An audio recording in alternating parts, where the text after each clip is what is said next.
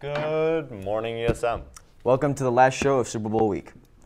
As I'm sure you all know by now, the Super Bowl is this Sunday at 6:30. It features the Los Angeles Rams against the Cincinnati Bengals. But more on that after news and announcements. Yesterday, the Biden administration urged Canadians Prime Minister Justin Trudeau's government to use its federal powers to end the truck blockade by Canadians protesting the country's COVID 19 restrictions as the demonstra- demonstration forced auto plants on both sides of the border to shut down or scale back productions. For the fourth straight day, scores of the truckers taking part in what they call the Freedom Convoy blocking the Ambassador Bridge connecting Windsor, Ontario to Detroit, disrupting the flow of auto parts and other products between the countries. With the political and economic pressures growing, the Windsor Mayor Drew Dilkens announced that the city will seek a court injunction to end the occupation. On February 4th, 2022, the Republican National Committee officially stated the attack on the Capitol and all events that led to it as illegitimate from the political discourage. Likewise, they censored Representative Liz Cheney of Wyoming and Adam Kinzer of Illinois for taking part in the January 6, 2021 committee. This statement from last week has do dominated much of the conversations in Washington and driven a wedge in the Republican Party. Senate Majority Leader Mitch McConnell says traditionally the view of the National Party committees is that we support members of a party regardless of the positions on some issues. Furthermore, he stated, Let me give you my view on what happened on January 6th. And we were all here. We saw what happened. It was a violent insurrection of the purpose of trying to prevent the peaceful transfer of power. After a legitimately cer certified election from one administration to the next, that's what it is. Looking inside the Republican National Committee, several members came out and said they never intended to suggest that those who rioted on January 6 were engaged in political discourage. Bob Saget's cause of death had been revealed by his family. His death stemmed from an accidental blow to the head. No drugs or alcohol were involved. Bob's family said in the statement, as to continue to mourn together, we ask everyone to remember the love and laughter that Bob brought to this world and the lessons he taught us all to be kind to everyone, to let people you love and know you love them, and to face difficult times with hugs and laughter. Please stand for the Pledge of Allegiance. I pledge allegiance to the flag of the United States of America and to the republic for which it stands, one nation under God, indivisible, with liberty and justice for all. Two ESM athletes were chosen as Lifter of the Month for January. Junior Jaden McIntyre and sophomore Damon Jones were chosen for this award. Both are multi-sport athletes and have made substantial gains in the past month. Great job, guys. So I don't know about you, but I'm actually pretty excited for this game, John. I definitely am. So, uh, Luke, I gotta ask you, who's your pick? I'd like to preface this by saying I had these two as my Super Bowl pick since the start of the playoffs, but my pick to win is uh, Joe Burrow and the Bengals. You know, my pick is also Joe Breezy and the Bengals. But why did you pick the Bengals? Honestly, I didn't expect that, but I've been rocking with the Bengals ever since I predicted them to beat the Steelers last year. And uh, why'd you pick the Bengals? Honestly, for me, it was a really tough choice because my uncle used to play for the Rams, like way back in the day. But I picked the Bengals purely because I love Joe Burrow, not just like as an athlete, but like as a person. He's just he's cool. Yeah, I've had that special bond with the Bengals since I predicted them to beat the Steelers. Remember that that last time? Yeah, yeah, yeah. yeah. Yep. And uh, now let's see what some of you guys picked.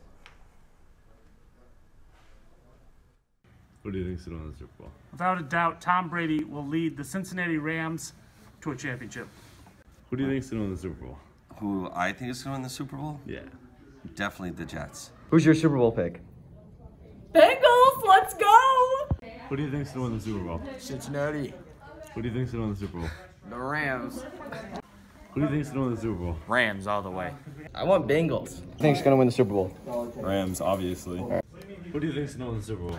I don't care as long as I get snacks. I think the Bengals are going to win.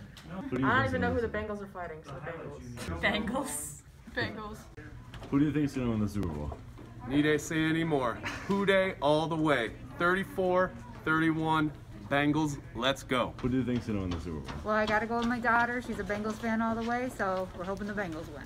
Who do you think's going to win the Super Bowl? The Rams. Who do you think's going to win the Super Bowl? The Bengals. Who do you think's going to win the Super Bowl? Yeah. Rams.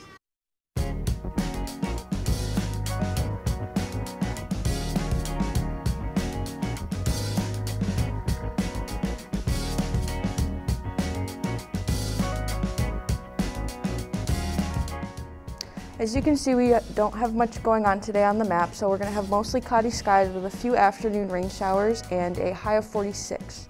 Tomorrow we'll have some mixed rain and snow with a high of 38, and Sunday we'll have some snow showers with a high of 18. I'm Gabby with your weather.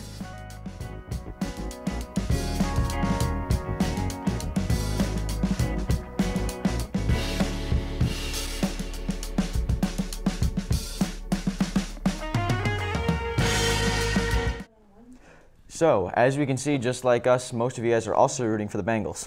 So, picking your favorite team is fun and all, but what are the actual statistics of who's going to win? Well, John, as of right now, the Rams are a 4.5 favorite over the Bengals.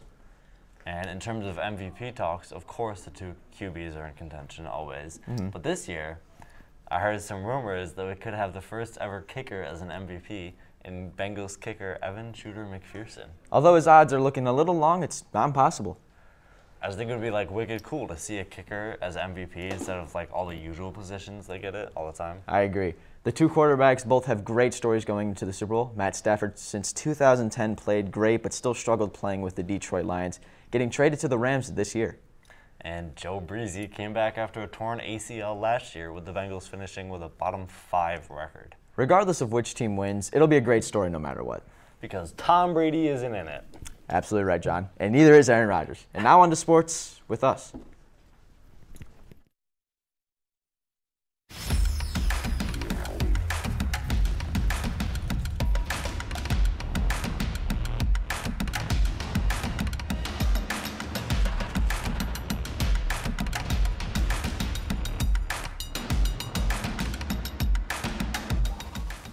The FM hockey team shut out Liverpool 4 0. ESM athlete Jonas Osterley scored a goal for the Hornets to contribute to the win.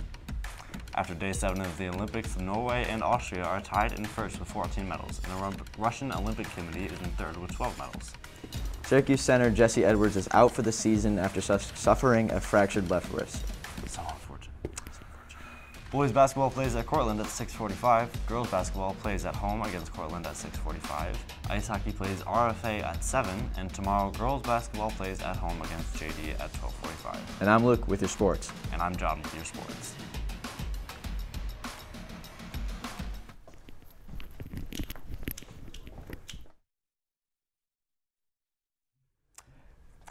Thank you guys for tuning in uh, to concluding Super Bowl week.